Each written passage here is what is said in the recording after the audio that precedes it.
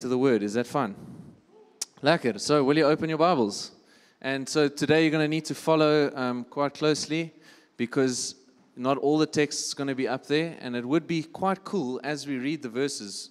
You might see, you, you're going to be able to go back to what we, what we are reading. And, and it will be good to also learn the habit of following along in the text. So, John 6, verse 26, key scripture for today. Ek gaan net hierdie tafel bietjie omskuif. Ek sal my help en makes me feel a little claustrophobic. Okay. It's in the square. Um, so, John 6, 26 to 35. Are you ready? Okay, read with me. Jesus answered them. You can read with me. Truly, truly, I say to you, you are seeking me, not because you saw signs, but because you ate your fill of the loaves. Do not work for the food that perishes but for the food that endures to eternal life, which the Son of Man will give to you. For on him God the Father has set his seal. Okay, you can stop there. Then they said to him, What must we do to be doing the works of God? And Jesus answered them, This is the work of God, that you believe in him whom he sent. So they said to him, Then what sign do you do that we may see and believe you? What work do you perform? Our fathers ate manna in the wilderness. As it is written, He gave them bread from heaven to eat. Just then, uh, sorry, Jesus then said to them, Truly, truly, I say to you, it was not Moses who gave you the bread from heaven, but my Father gives you the true bread from heaven. For the bread of God is he who comes down from heaven and gives life to the world. They said to him, Sir, give us this bread always. Jesus said to them, I am the bread of life. Whoever comes to me shall not hunger, and whoever believes in me shall never thirst. This is the word of the Lord. Thanks, praise be to God. Thanks be to God. Okay, so can we all say, Thanks be to God? Okay, awesome. Thank you, Lord, for your word. That's all we're saying, okay? Also means that we can end scripture and get into some other stuff. Okay, so in the 1930s, there was this dude, um, and Simon, can you, can you show us his mug? His name um, was William Somerset. Say, try say his surname with me. Maugham. Okay, Maugham. And Maugham, Maugham, okay.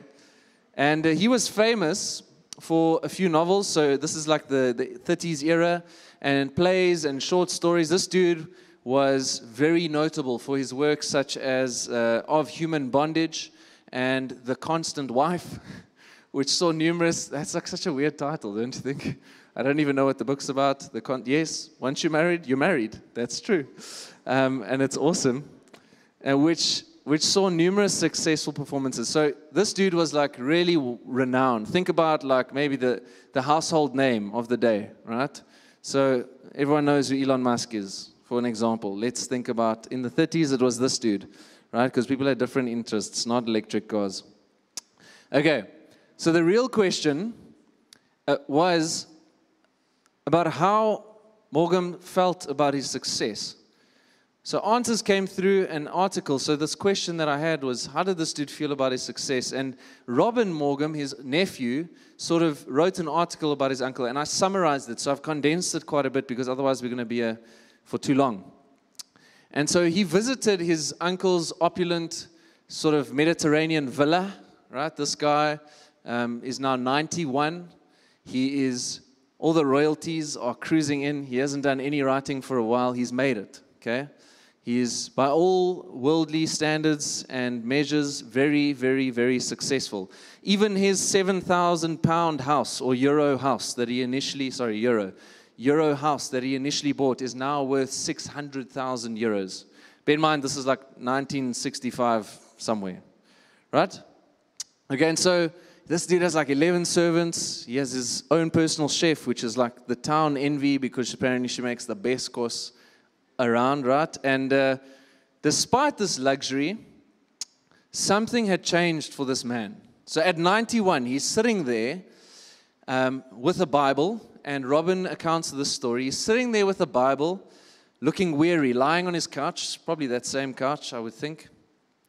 and confessing that he is haunted by a childhood Bible verse, right? A childhood biblical quote, this verse that was up against his wall growing up, but that he never really wrestled with. It was just the saying that he was so familiar with. What shall it profit a man if he gain the whole world and lose his own soul?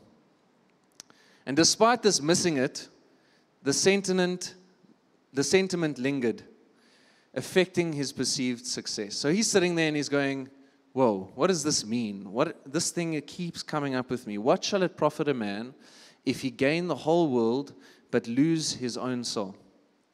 Okay? And that evening, in his drawing room, Morgan drops, he's dropped the accomplishment act. Something has clicked, something moved into his heart, and I think he's, he's gripped, he came to grips with what this, this quote or this biblical quote of scripture is saying. He admits, finally, after 91 years, exhaustion, a lifetime of mistakes, and regret over his writing. He says, I wish I had never written a single word. And as night fell, a disturbing scene unfolded. Morgan, gripped by fear, age 91, denied an unseen presence, desperately proclaiming, I'm not ready, I'm not dead yet. This old man's freaking out on a couch, going, I'm not ready, I'm not dead yet. Fear stricken, his voice terrified, echoing through this empty room. And it revealed a man haunted by the hidden costs of his visible successes. So he came to the end of his life, and maybe you've heard the story in a different way. He came to the end of his life and he realized that none of this, none of this stuff really matters. Right? So he has, he has, he's haunted by the intangible costs of, a tan, of tangible success. Right? So the things, the money, the house, all the, the worldly success, the material success haunts him because it's cost him something other than money. Yeah? Are you tracking? Okay, cool. So there's our story for today. And so this dude in the 30s, a rock star, right, has it all fame, fortune. He's uh, doing the VIP dinners. And yet, when the encore came, when it came time for his grand finale, it felt like an empty melody. The thought of a final curtain call was just downright chilling to this man. Life's meant to be a grand adventure, not a wild goose chase, right?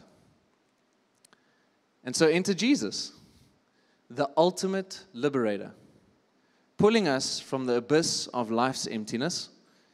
He unfolds the bread of life discourse in this passage. So in John 6, he, there's an invitation. Jesus is on a cosmic, like universal rescue mission. Okay? And he's introducing us to the Father who's the ultimate provider. Okay, so Jesus, with his discourse here in John 6, is actually inviting us into something that is life beyond this life, and that is life not only for then, but for now as well. Yeah? Okay. So let's dive into the text. Jesus is in John 6 is basically dropping, he's busy dropping truth bombs, right? Truly, truly. Yeah? He's, he's really, really uh, and we'll look at it now, quite confrontational with what he has to say to the crowds that follow him. And he's making them realize hey, guys, he's, he's through this text, and I'm just trying to frame what we're going to be looking at. He's actually making them realize hey, guys, you guys are running on empty. And so once they get that memo, he then goes on to spill the secrets. So he tells them, listen, there's not much left in your tank. Like the things you th- think you can rely on, those things, they are but vapor. Hevel, right, in the words of Ecclesiastes. And then he goes on to say, this is where you can find something of real sustenance. Right? There's an invitation through this text. It's almost like this grand picnic. Jesus is inviting them into sitting down with him and, and actually having a mind altering moment, right? Like a, a moment where he, he is they are able to see things in a way that they have never seen things before. Okay, and so my hope that the hope for this, for us, for this, for this, for us, for us through this, is that what, what, what the text will do this evening is actually open up maybe a, a perspective on, on what Jesus is saying when he's saying, I'm the bread of life. What is he actually declaring? Um, not according to me, but according to Scripture, right? And so he's, he's inviting us out of, and sorry for the fans here, but uh, that, that sort of wimpy menu life, right? So this is the best I was thinking. Like it's a bit bland. They haven't changed the menu for, so some people love it. In my opinion, it's, it, it needs a bit of revamping, right? Okay, I haven't eaten there in a while. But, but it's, sometimes I feel like different foods, different rest, there can be, a, there can be a, a repetitive taste to that food. So sometimes we go back to that for the same reason over and over again, because we actually like that, how that tastes. We're satisfied, we've, we've become familiar with that taste. And sometimes that we, we perceive that to be the only option. That's what I'm trying to say here. Yeah? Okay. And so here's the thing Jesus himself, sort of like this Morgan dude, is actually the rock star of his era. Okay, and I mean this not disrespectfully. Jesus was the main man. In, in that, there was no one more popular than Jesus in this moment, right? Drawing crowds of people. Jesus is a crowd magnet, in fact. Literally, wherever he goes, the crowd follows. We see this all over the New Testament. The disciples, I'm sensing, or maybe a little bit tired at this point in text. Maybe a bit burnt out, potentially from the chaos. Remember, they've been like following Jesus. There's been a whole bunch of movement. Um, they've just got a boat ticket, boat ticket, a boat ticket, right? Jesus has said, "Go and chill in Bethsaida."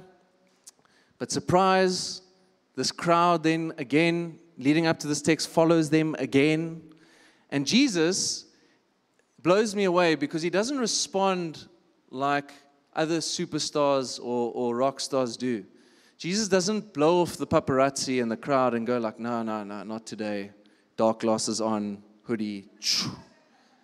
Jesus engages again. He gives of himself again.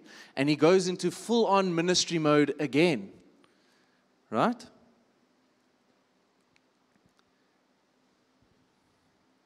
And so this, this whole thing, this whole sort of moment climaxes or finds its point in the feeding of the 5,000.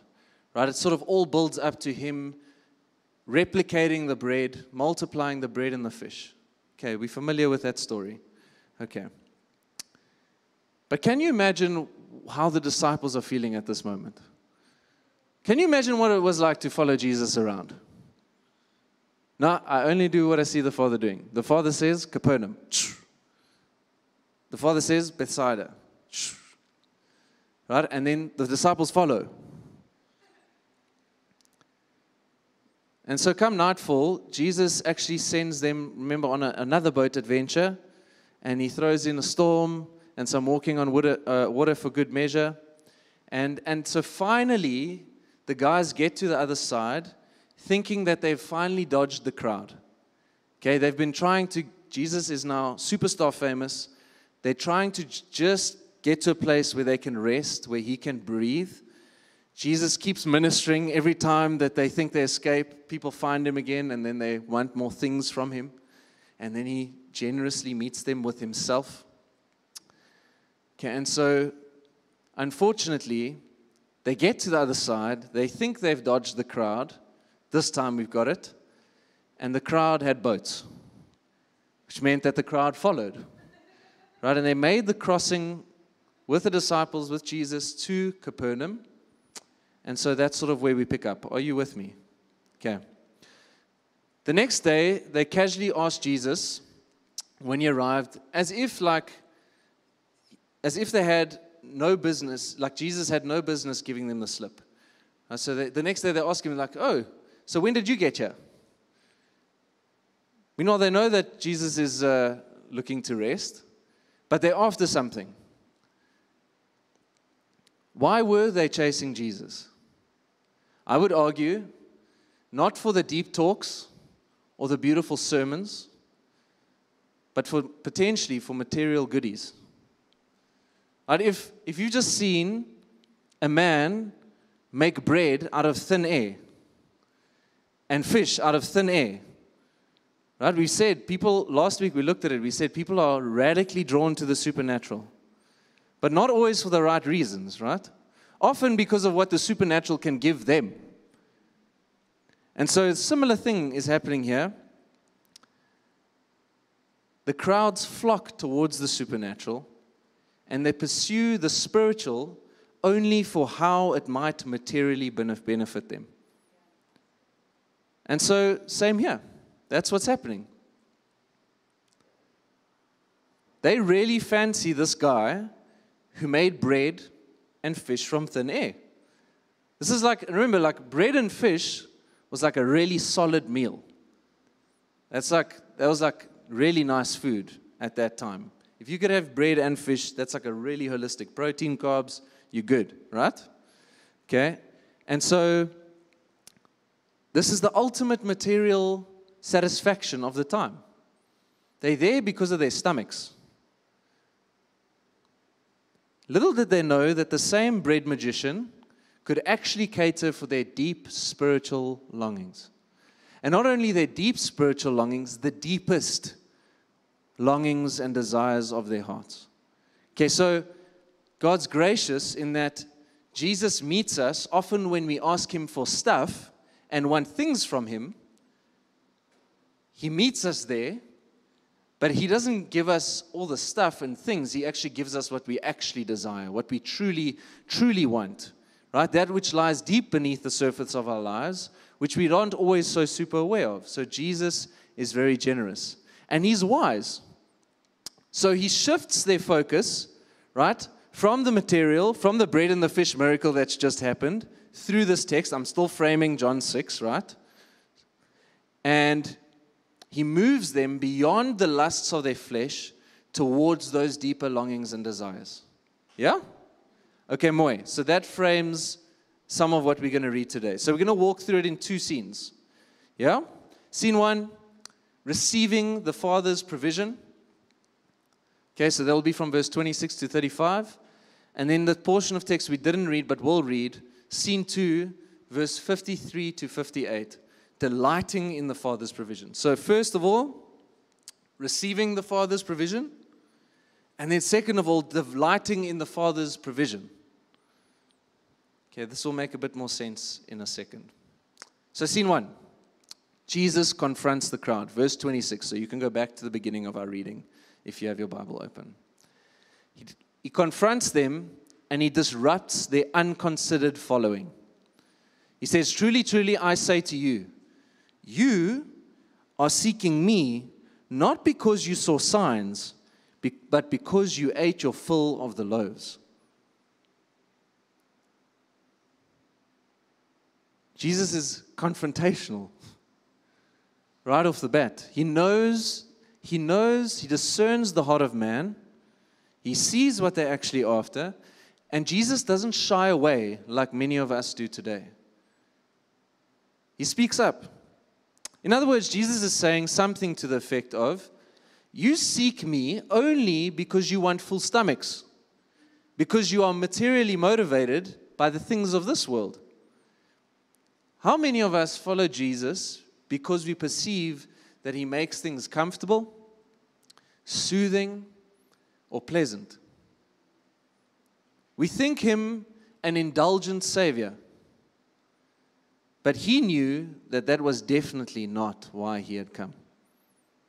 And so Jesus continues. Verse 27 Do not work for the food that perishes but for the food that, has, that endures to eternal life, which the Son of Man will give you.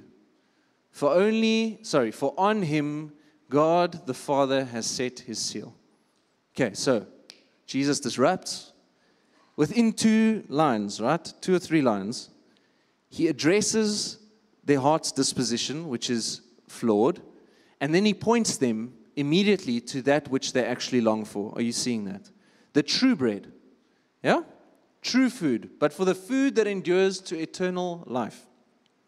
And so, with this statement, he reveals something. He reveals the spiritual realities he urgently wanted people to see.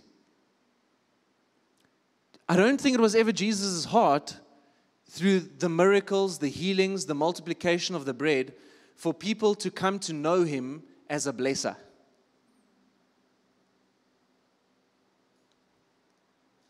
He's saying here there are spiritual realities.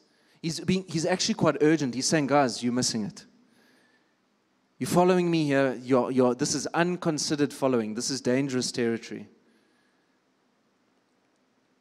So there are two kinds of bread Jesus is talking about here. One, a material bread that perishes. You can go to that slide. A material bread that perishes. And two, a spiritual bread that lives eternally. Okay. I couldn't find a quail, so I just turned him on his side. Okay, so, so it's a dead quail, guys. Okay, he's not just sleeping. Okay. But think, just look at that quickly for a second. A material bread that perishes, these things rot, they decay. In fact, in the time of the Israelite nation, or the Jews, uh, after Exodus, within a day, that stuff was really bad to eat. Okay? You can imagine also, I think one supernatural, but two desert. Like how well do you think things keep in a desert if they don't keep a week in our fridges? Right? And then, two, a spiritual bread. He's speaking, he's saying there's a bread that you don't know about. There's a bread that you actually hunger and long for that I want to talk to you about. He's saying that is why you've actually come. And he points out the desires, the deeper drives, the deeper motives of their hearts. And so we all know groceries perish, right? I can remember many times when my dad would come home, food lovers, or we had fruit and veg back then. Do you guys remember fruit and veg? That was a good time. Sundays after church, some of us, yes, amen. And my dad would come home with a box of groceries, right? And by nightfall, my brother and my sister and I are like, oh, breathe, there's nothing in the house. Yeah? There's nothing. Like, where's, the, why? Because we'd eaten everything, right? Everything had perished in the afternoon. The grapes had come home, the grapes were gone. Ask Danny, I still do it, unfortunately. It's like she goes shopping, she knows she buys an extra thing of, of nectarines because they will get smashed within a day and a half. It's, I like them a lot. Okay. And so we complain. They, these things perish, and there's a complaining that there was nothing to eat. So Jesus he's actually making an important statement. He's reminding the crowd that we earn physical bread or physical food by the sweat of our brow, right? But spiritual food is eternal life, is of something eternal. There's a different way in which we require, acquire spiritual food. Yeah? And so that food does not come from our work, but it comes from Christ alone. He's saying, yeah, he says in the scripture, he says, but the food that endures to eternal life, which the Son of Man will give to you. Right, that is food that comes without a cost. Well, not, not without a cost, but not in the way that we are used to it coming. Correct? Yeah? And so in these verses, Jesus begins to elevate. He, he's slowly drawing their attention, right? He's, he's just saying, guys, come on. Like, just think, like, just stop for a moment. You're rushing, sheep after sheep, right? Everyone's just going. Why? Because the crowd's going. We spoke about that last week as well. You, this is unconsidered. Think about this for a second. What are you actually, what are you after? What are you after?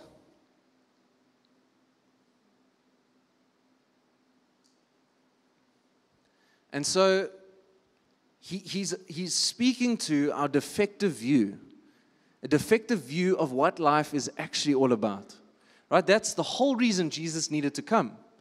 Because for years, for, for generations, God had spoken through the prophets. He said to them, Guys, this is not how things are meant to be. Rather, do it like this. This is not how I define reality. Rather, live your lives out like this. And no, we could not. We could not, in our own capacity, we could not, by our own smarts or our own uh, uh, uh, free will, make it happen. And so God generously sent us Jesus. Why? To come and draw our eyes, our gaze, our focus to a greater eternity, to a greater reality, to the true reality, not another reality, to how things truly are in the kingdom of heaven. Yeah? Amen. So we see this exchange, it continues in verse 28 and 29. 28, so you can read in your Bibles, it's very good practice. Then they said to him, What must we do to be doing the works of God? So, do you see, we can pause there. Do you see, and I'm only seeing this now as, as I'm reading through it for the however manyth time, they immediately equate material bread with the need to work. Do you see how the human mind, like Jesus is saying, Whoa, guys, stop. Look at this for a moment. And then he says, This is not about something that you can do, but something that is given freely. And immediately their response is, What must we do to be doing the works of God? Don't you feel like we do that? And so Jesus answers them generously. He says, This is the work of God. saying, Do you really want to know? Do you want to know what the work of God is? He says, That you believe in him who he sent. That is the work of God. Do you know what you can do? Because you're so burning to do something, because you think that that's what it's all about doing. Believe rather in Jesus. Believe rather in the one whom he sent. Right? So Jesus is actually referring to himself. They're not catching. Right? So it's like guys are glitching here, right? There's not, there isn't a clear line from point A to point B. The men in, in specifically are struggling here, right? Because they want the straight line. Okay? And they asked Jesus what kind of work they had to do to get the bread they thought they needed. So now they're like, oh, cool, okay, spiritual bread. We're so down for that. Like, that sounds lekker. But now, what do we have to do to get that one? It's like you gave the other one for Mahala. That was lekker. God, you blessed us with that. But now you're saying there's another bread. How do we get it? What can we do, Jesus? What, Rabbi, tell us, what can we do? We just want to, just tell us. And Jesus is too wise. And instead, he says, Do you know what you can do? You can believe in the one that he sent, that in whom he sent, in whom he sent. Believe the one whom he sent. Rather do that. Okay, so they asked him what kind of work they had to do, and uh, He's saying there's no physical work needed here. There's nothing you can do. That is the, uh, but that in fact it is a matter of faith. That it is a matter of believing in Jesus. Okay, now what belief and faith pertains to, we don't have the time to necessarily journey into because I think some of us have misperceptions around what it means to believe. But to put your faith, your trust in Jesus, we can all, we can all understand what that means, right? So he's saying clearly and plainly do not put your trust in your own works or in the works that you can produce for yourself, but put rather your trust in Jesus, in the one whom God sent.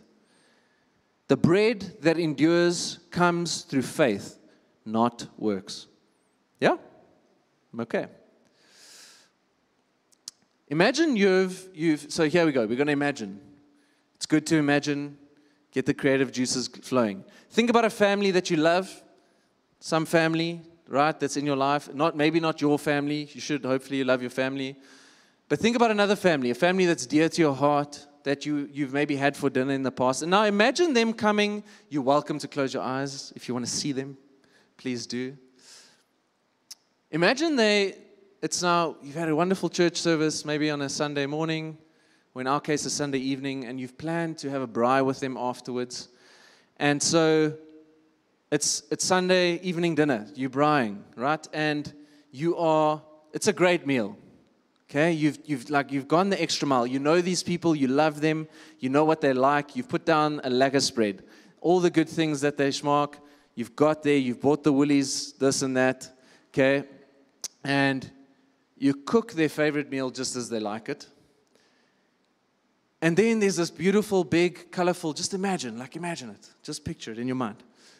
A big, beautiful, colorful tossed salad, right? The ones like Danny makes, beautiful, wonderful, pomegranates, like rocket, bit of feta cheese, some baked potatoes with cheese sauce on the side, cold drink with ice, right? Like all the very good. Imagine some cold drink with ice right now. That's like, yo, can we get some ice up in here?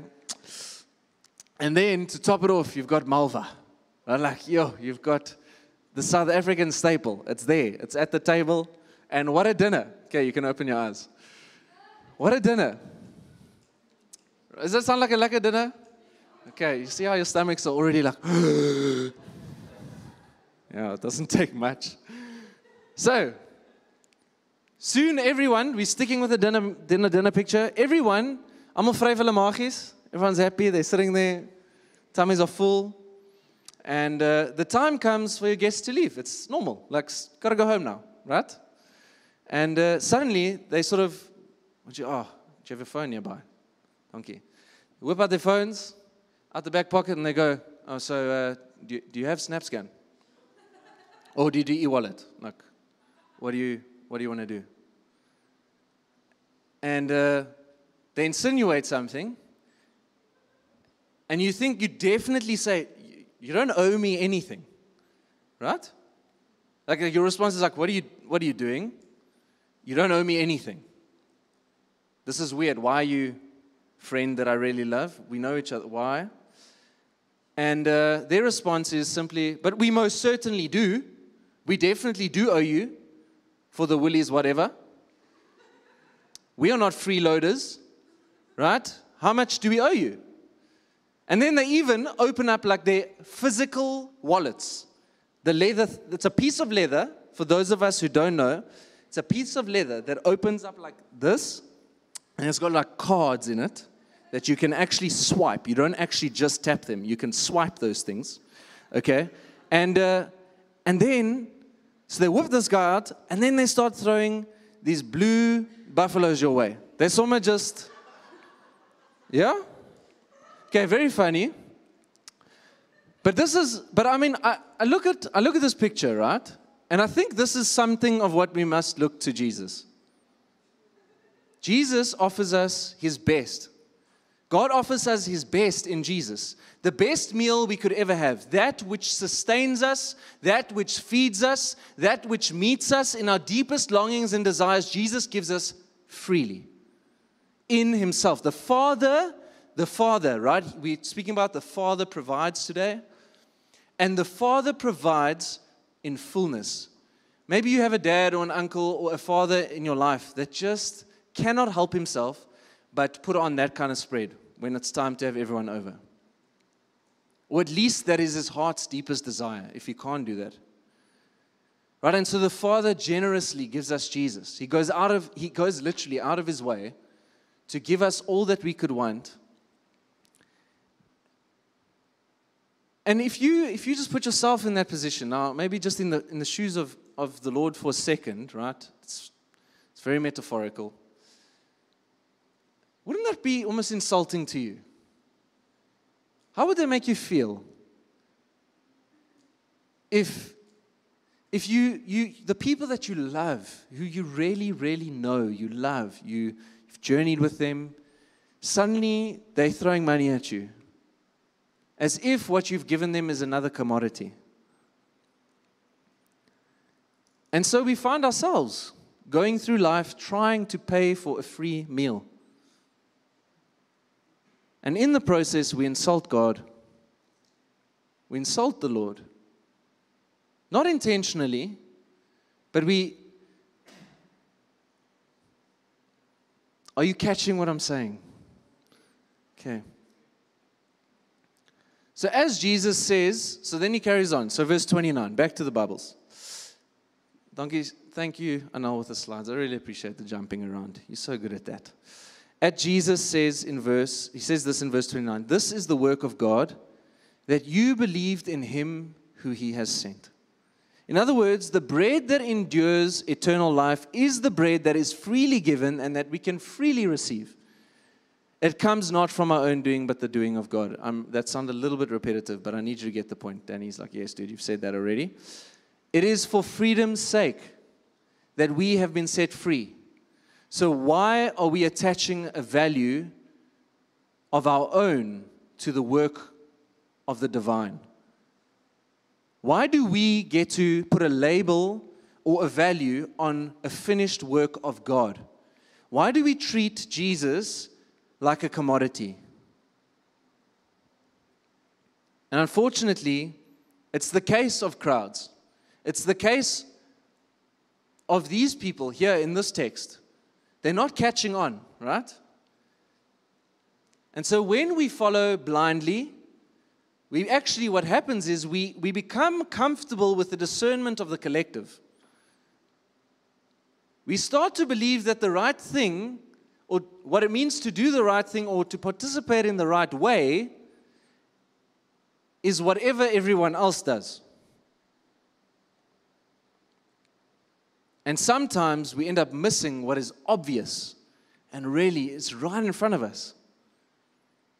So instead of considering what the Lord is saying and seeking and genuinely seeking to understand these profound truths, the people divert and test Jesus instead.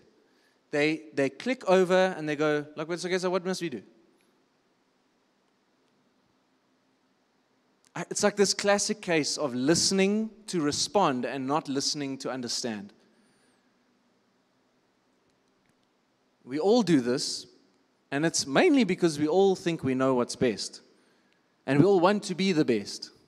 And we want to have the answers. And I just, I know, like when Danny and I miscommunicate, it's definitely because we think we know best.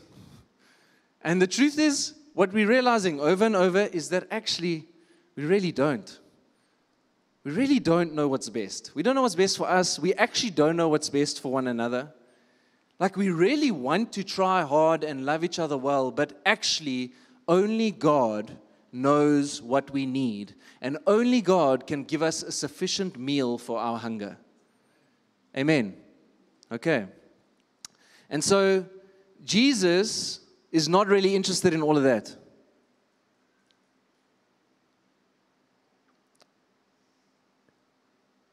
And they ask him, they sort of ask him, they say, so, so they say to him, then what sign do you do that we may see and believe you? They test him. What work do you perform, Jesus? Our fathers, check this, our fathers ate the manna in the wilderness. As it is written, He gave them bread from heaven to eat. They are telling God His own story. Can you believe it? Don't we do this with the Lord? Our Lord, but you know, you said, he's like, yeah, I, I know I said. I said it. He gave them bread from heaven to eat. Or Jesus, something like Jesus, we're not really all interested in all of that. You did a great sign yesterday. That was lacquer, like you fed 5,000 people. But actually, we now want you to come and do a kind of miracle that's sort of on par with Moses. Right? Like, we want to see chicken and bread rain from the sky. Like, do that, Jesus.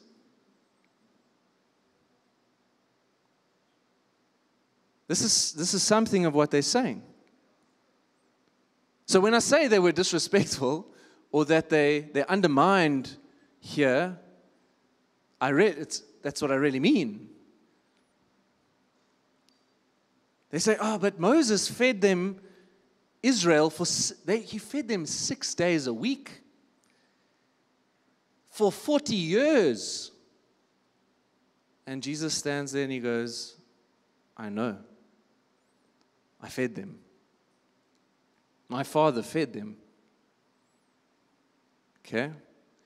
And so, and to understand what they were saying and why, we must just consider quickly Exodus 16. So, flip your Bibles, flip your Bibles, go. All the way back to the second book of the Bible. So, Genesis, Exodus. Exodus 16, I'm going to give you a second to get there. If you only have a digital Bible, use your thumb fast. Okay? Exodus 16, verse 1. Is everyone there? Just say, Yep. Cool. Verse 1 to 4. They set out from Elim and all the congregation of the people of Israel came to the wilderness of Sin, which is between Elim and Sinai, on the 15th day of the second month after they had departed the land of Egypt. So just be aware, this is post their exit of Egypt, Exodus. And and the whole congregation of the people of Israel grumbled. Look at how they treat Moses. they grumbled against Moses and Aaron in the wilderness.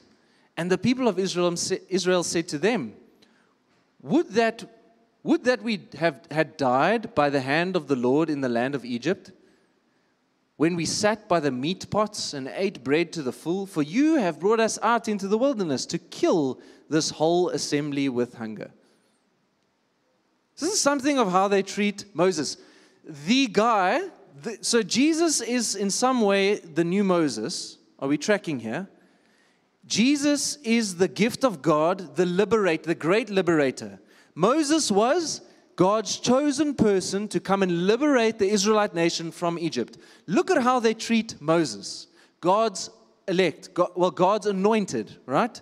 The one who God chose to help free them. This is how they treat him. And so then they said, then, then the Lord, the Lord said to Moses, Behold, and I just, I just sense the Father so patient in this moment. Like, sure, guys, I just literally closed an ocean behind you on guys that wanted to kill you. I actually gave you much of the wealth of Egypt. You carried it out with you. And this is okay, but you know what, Moses, I'm going to rain bread from heaven for you and for the people and they shall go and gather a day's portion every day, that I may test them, whether they will walk in my law or not. Isn't this cool how this text is coming alive? Right? Verse 11 to 15. Further down, and the Lord said to Moses, I have heard the grumbling of the people of Israel. Say to them, At twilight you shall eat meat, and in the morning you shall be filled with bread then you shall know that I am the Lord your God. So God is saying, I want you to know me in my provision. When you see the ground littered with manna, which directly translated actually means, What is this? or What is it? Because they didn't know. It's like imagine just this white edible stuff just pops up all over all over the floor. And next to, and then, then the other end of the day, there's just like the equivalent of KFC, just like KFC buckets all over the desert. Okay? Really? In the evening, quail came and covered the camp, and in the morning, dew lay around the camp. And when the dew had gone up, there was on the face of the wilderness a fine flake like thing a fine flake like thing, fine as frost on the ground. And when the people of Israel saw it, they said to one another, What is it? What is it? For they did not know what it was. And Moses said to them, It is the bread that the Lord has given you to eat. What is it? It's a similar question that they're asking you. What is this bread that you speak of, Jesus? What is it? He says, Something from heaven but something greater than manna on the ground, a gift from the Father. Me is what Jesus is saying. He's saying, Guys, I am the bread of life. Are you seeing this discourse? Oof, okay. And so close your eyes just for a moment. We're going to do some more imagining. Yes. So imagine you're in a tent. The sun is sort of, sun's coming up and it's starting to warm things like that somewhat cold from the night air still lingering around, but it's also starting to slowly get warm as the sun edges over the desert horizon. But this morning, something is different.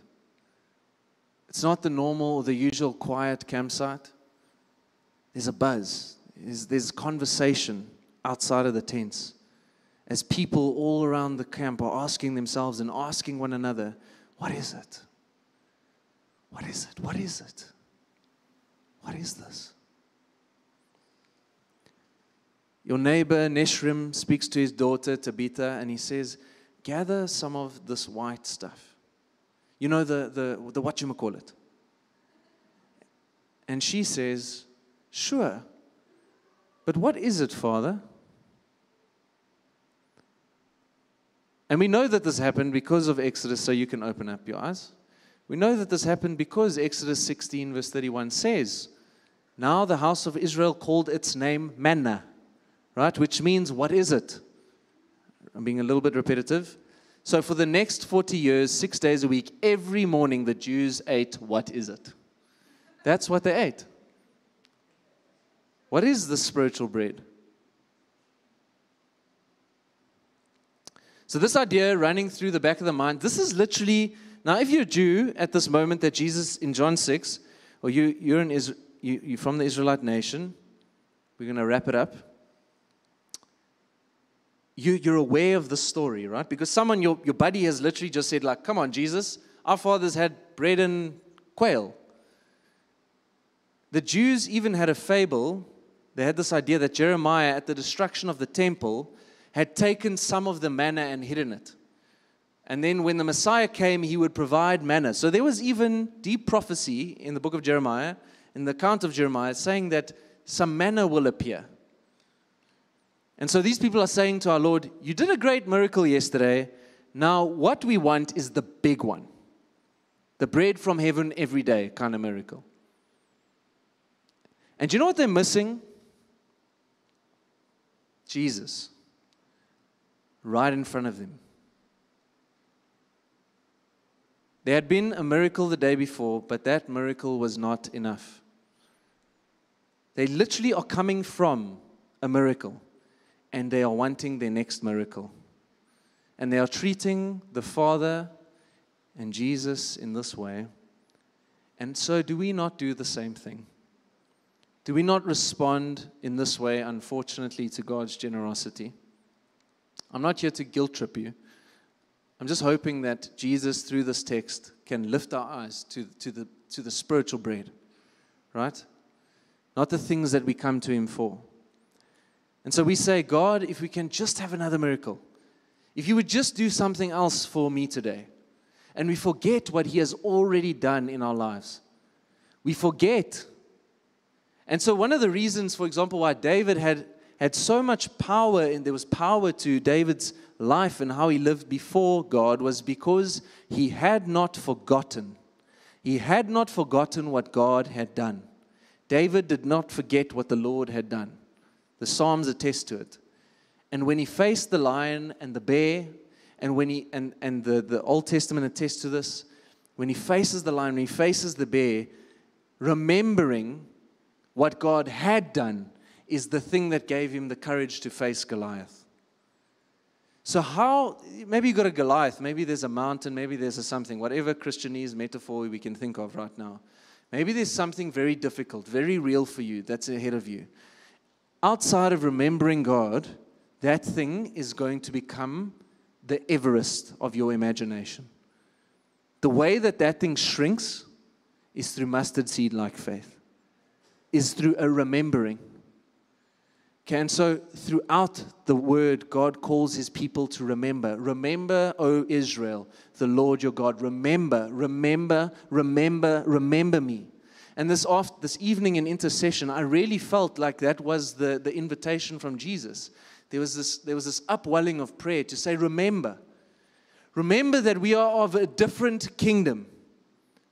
Remember and, and, and, and Christian brought the word as he led intercession in, his, in, in, in Revelation 2 remember your first love. Remember what it was like to meet Jesus, to encounter him for the very first time.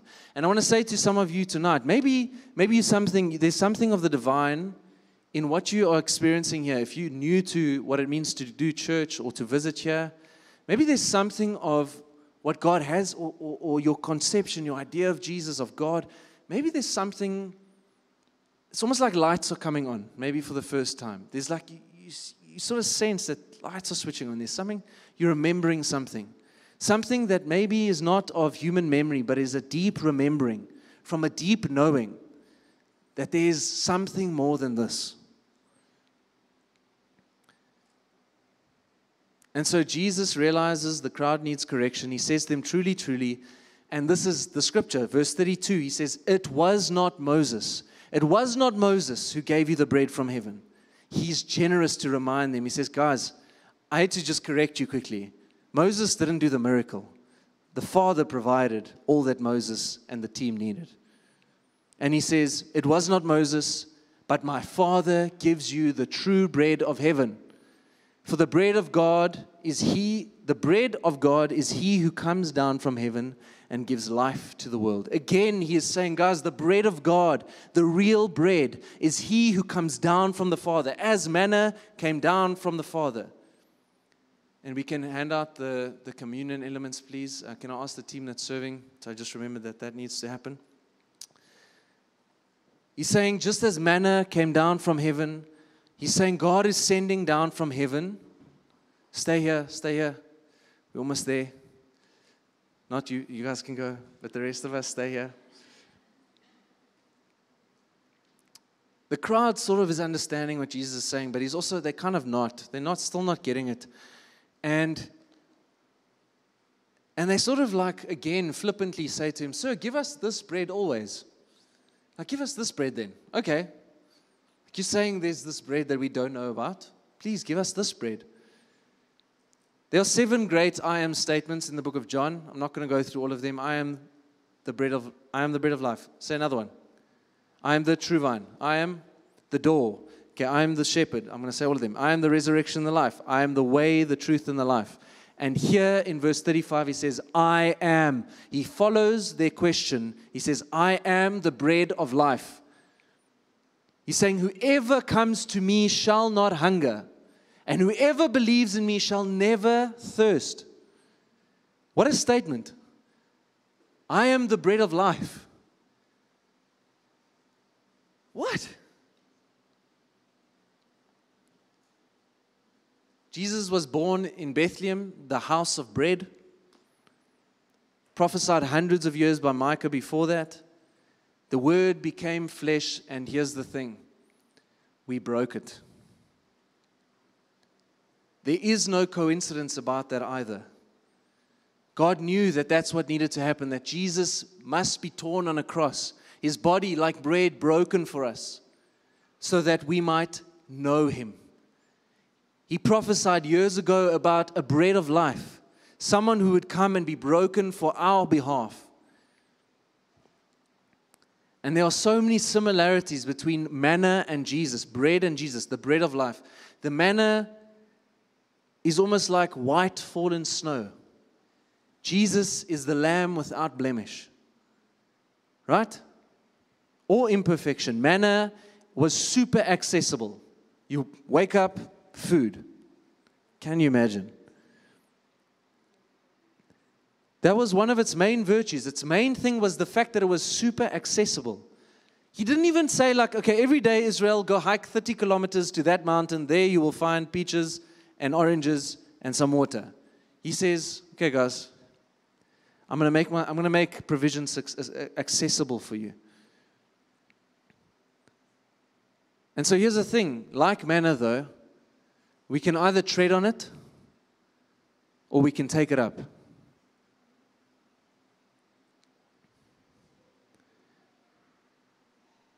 So scripture says Jesus can either become a cornerstone, is a cornerstone, and can either be the thing that the stumbling block, the thing that we fall over, or how we respond, and how we respond to Him makes all the difference. Jesus is the bread of life, He is our sustenance. And verse 35 says that those who come to Christ will not hunger, will not hunger, and he who believes in Him will never thirst. Apart from Jesus, nothing satisfies. Uh, I'm going to butcher this. James K. Smith says something like, I think it's him. He says, Is it, it's not him. Is it possible that our, this was in, in our conversation, maybe you can help me, but is it possible that our most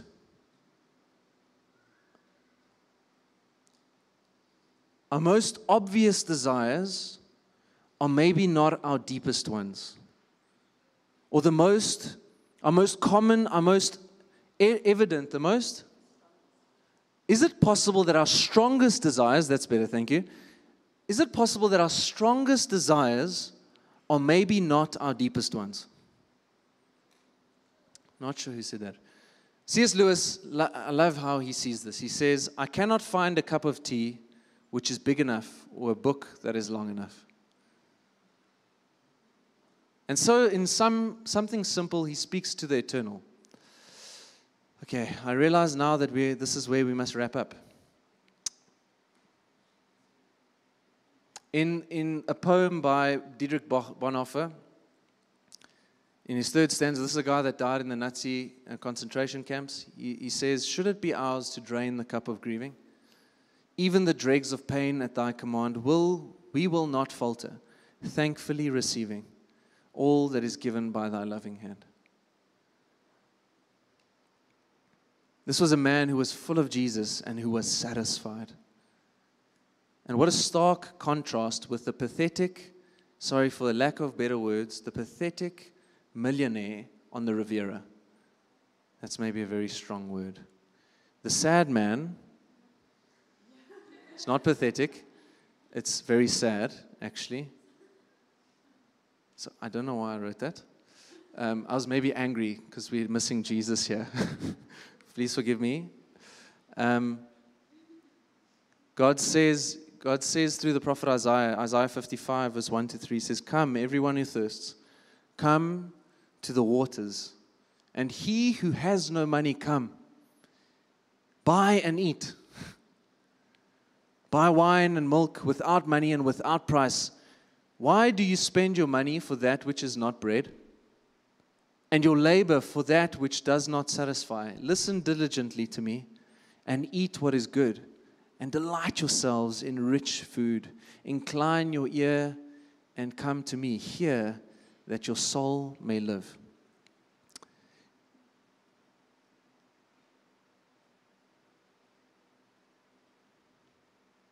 Jesus is making the same claim here in John 6:35 as Isaiah, Isaiah made. He's saying, I am the bread of life.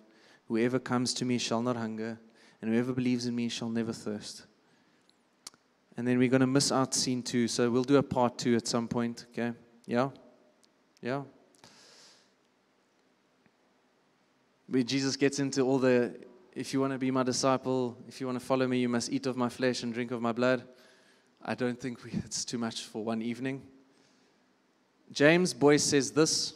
I'm going to end here. As, as is, so here, I'm going to I'm to just read this to you. Maybe you can close your eyes or you can read it on the screen. Is he as real to you spiritually as something you can taste or handle? Is he as much part of you as that which you eat? Do you not think do not think me blasphemous when I say that he must be as real and as useful to you as a hamburger and french fries? I say this because he is obviously far more real and useful than these. The unfortunate thing is that for many people, he is much less. Is he substantially real to you? That is what is involved. That is, this is the, the, it's what's involved in treating him as the bread of life. To taste and see, to, to, to eat, to know. It's one of the divides of our souls is when we don't cross, cross here, the continental divides of the life of the soul. And it's where many of us flounder, is where we, where we, are, we do not take up that bread, but rather we trample, we, right?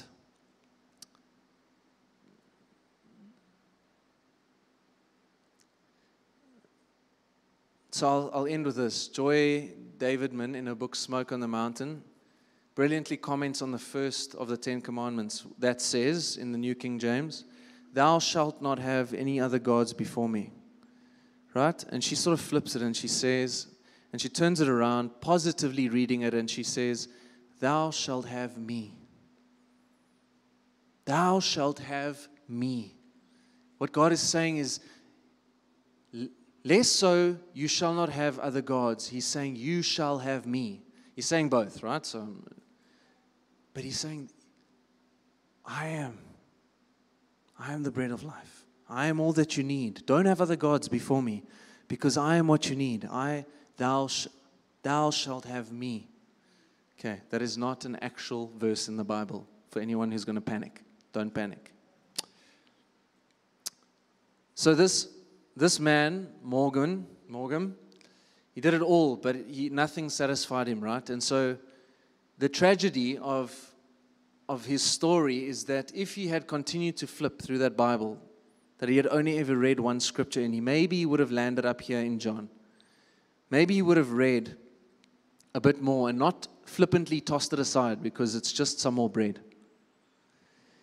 Maybe Jesus would have, maybe Jesus through the text and through John or a different portion of text would have answered him and said, This is the work of God the Father, that you believe in him who he sent. Okay.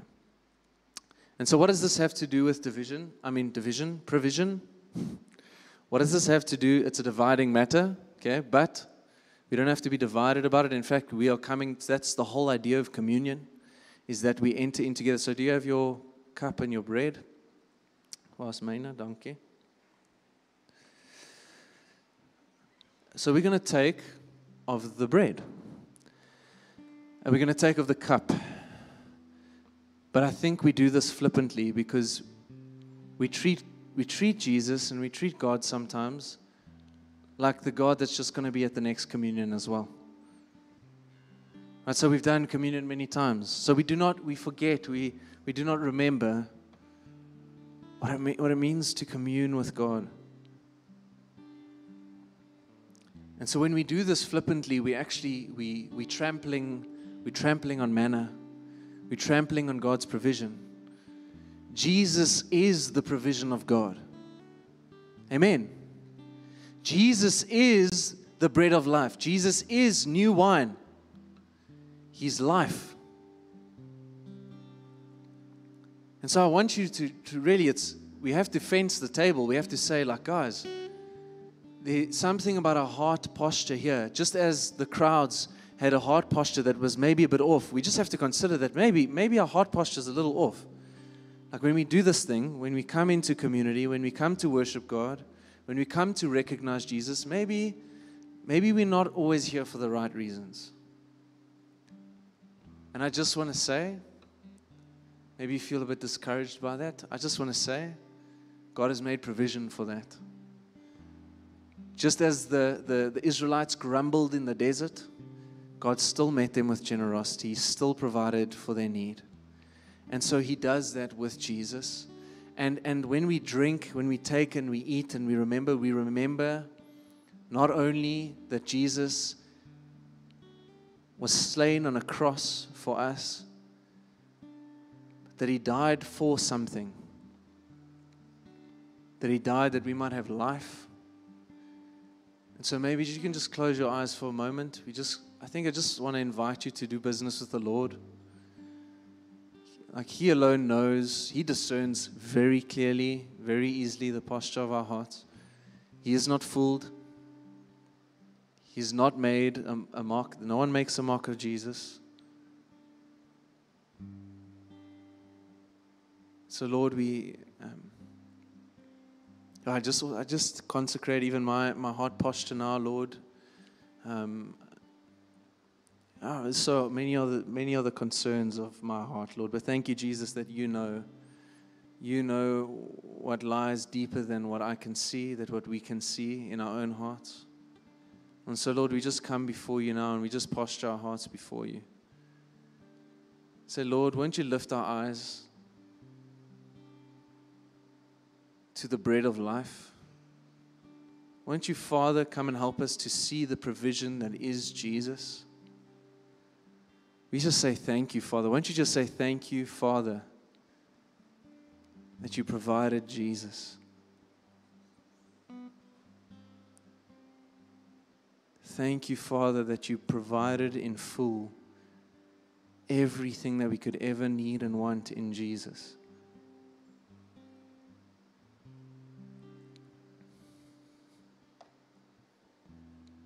John 16, 23 to 24 says this In that day, you will ask nothing of me, Jesus says.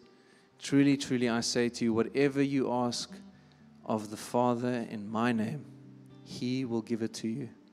Until now, you have asked nothing in my name. Ask, and you will receive, that your joy may be full. And so, what I want us to ask for this evening is simply Jesus. It's just Jesus once again. So, I feel there's a dual invitation here one to those who have never received Jesus, those who have never asked Jesus to come and be a part of their lives, of what it means to live here. And I want to ask don't leave, don't, don't flip, don't flip off another piece of bread, don't throw away what is beautiful and, and, and provision for you. And then I, I want to say to all of us who have maybe taken this a bit lightly, so, won't you ask Jesus again to come and make um, this material thing in your hand, this thing that you can feel?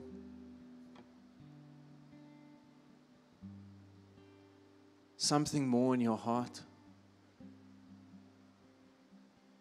Something more. Jesus, we thank you that when we drink and take of the bread, Lord, when we drink of the wine, God, what we are doing is we are we are rewriting ourselves into your story. Not by our works, but by asking simply for Jesus. Lord, we thank you that through communion, through the bread and the cup, Lord, we are being restored. We are being drawn back in. We are, we are placing ourselves back in reality. And so we pray this evening for the bread, Lord. We thank you for your body. We thank you that, Lord, you were broken for us. And Lord, we, we realize that it was us who broke you. Our mess, our sin, our shame. And even though, Lord, we broke you, Lord, we thank you that you give your body to us. You don't, don't shy away, you don't rip it out of our hands, Lord. In fact, you give yourself over unto death on a cross for our sake. And so, Lord, we consider this bread this evening. We consider what it means to be provided for by a Father. We thank you, Father God, for Jesus. When you're ready, you just take of the bread.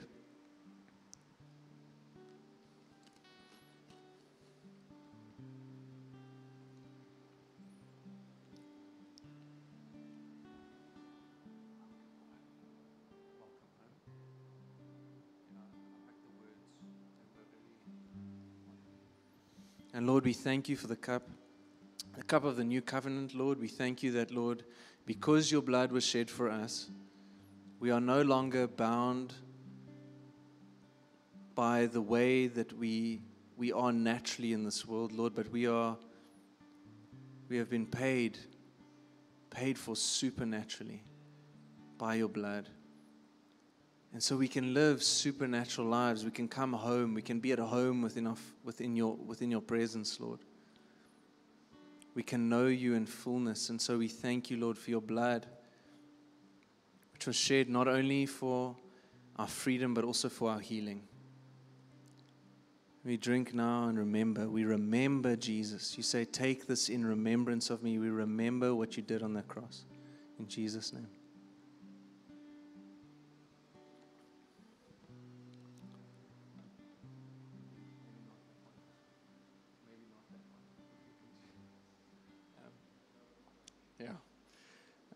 Okay, will you stand with us? Okay. We went a little bit long this evening, but it's okay. Dis nog die son nog op. Once you pass your cups, we just try pass them to the aisle and then just be careful not to trap on them. Don't step on the manna. Um,